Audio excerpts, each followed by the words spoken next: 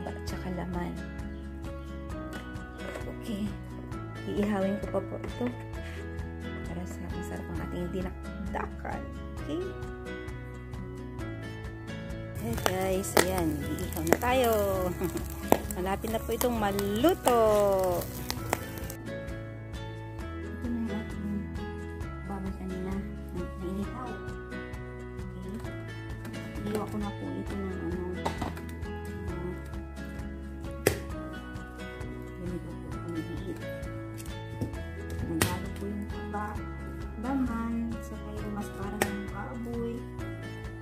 ito guys, mayroon pang yung ano yung dila ng baboy.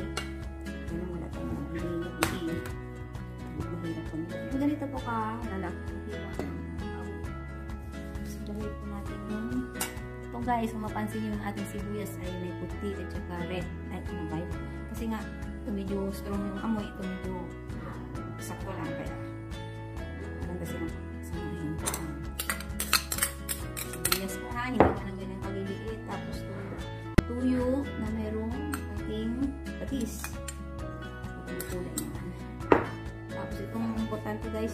kalamansi. Ang iliga po ha. Ayan, gusto natin. Tapos itong sili guys, na labuyo. Ayan. Kung ano ganyan. Kunto lang po natin. Dagdag naman tayo. Hindi ako. Medyo ano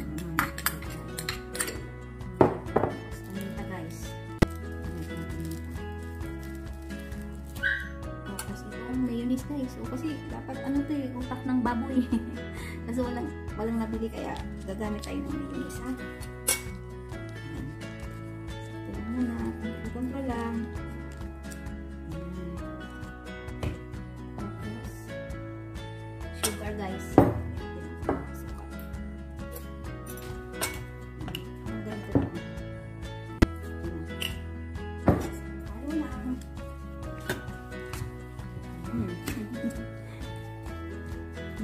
Guys, nilalagyan pa nila ng sili na yung pang sigang pa na kulay green. Ako hindi ako naglalagay kasi parang lumalabas yung langsa ng. Halo-halo lang to guys. Ito pala, pag kulang ng kalamansi, yung asin, lalagay tayo mamaya ng kunti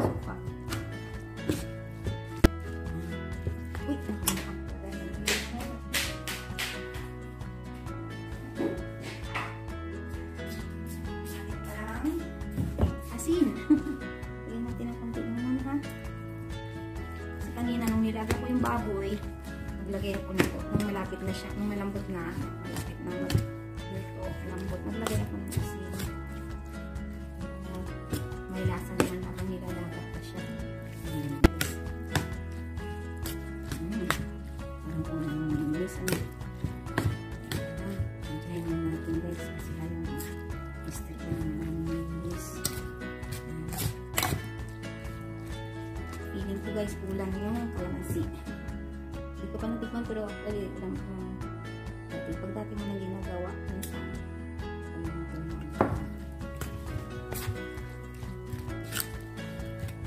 Ayan, sarap. Ang ating tinakdakan guys. Ayan, sili, yung asukal, asin. Ano pa, naglalagay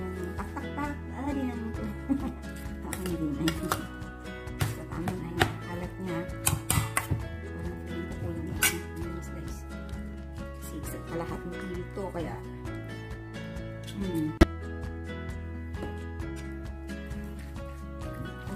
Ito mga gusto gusto ng mga kumpari dyan na umiinom. Ako lang. Gusto ay pulutan. pulutan din nakada ng baboy. Mm, mm, mm. Ayan, guys. Tikman natin ha. Tikman natin na yung asin niya. Saka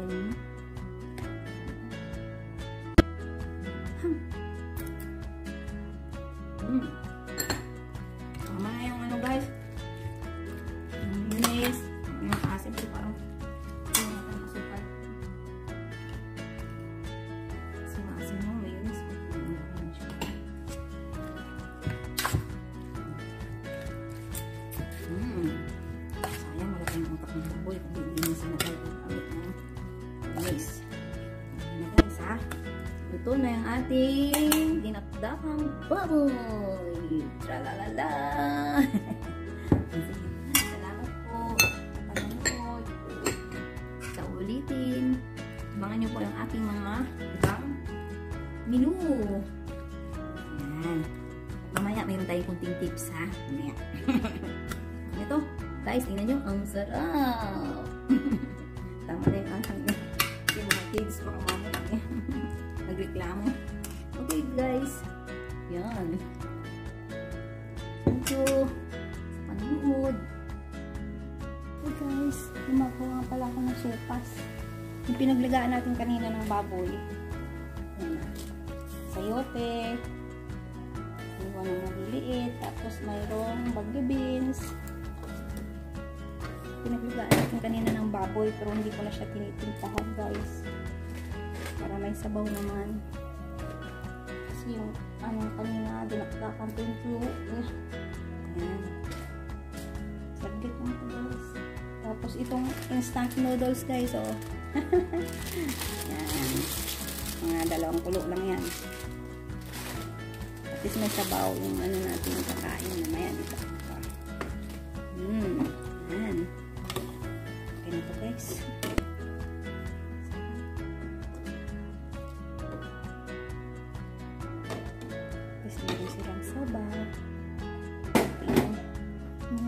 customer.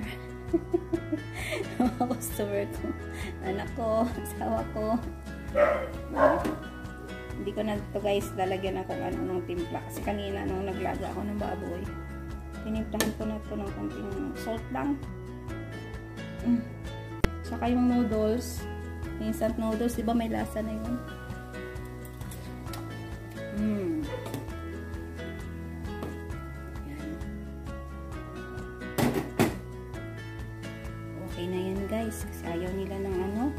Overcook na noodles. Okay. Ihahain na po tayo. Ayan na guys, kain na tayo. Ito na ating sabaw, ulam, tsaka ang pinaka-importante is kanin. Bye-bye! See you again in my next video vlog. Cooking. Cooking. Hi guys.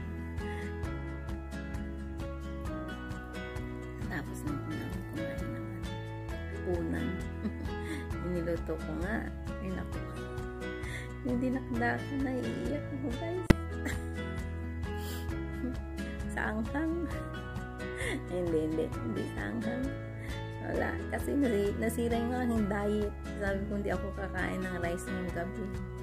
Ayun. hindi nakapagpigil. Kaya yun. Kumain ng mga siguro dalawang tasang kanin. Yun nga guys. Uh, na, na ano ko na kanina napakita ko yung pagluluto ng dinakdakan. Meron lang akong konting tips pagdating sa pagpili ng karne, ng gagamitin natin na ano, na baboy. Yun po ay gumamit tayo ng maskara ng baboy, laman, taba, at saka yung yun nga, yung mga ricado niya, hmm, kalamansi, sibuyas, sili, patis, andun na. kanina nung pag ano ko. Kanya lang guys, pag, pag pumipili tayo ng, o nag-wawash tayo ng karne, kailangan nakasahod talaga ito sa gripo. Kailangan flowing water siya kasi kahit anong karne, ganun natin hugasan. Para yung bacteria or may germs pa siyempre naka-expose sa palengke. Yun, kailangan na nakadalo yun. Kasi kung sa planggana or sa foul, uh, makikita mo nakadikit lang siya sa bowl tapos sa tubig na andyan lang sa, sa tubig.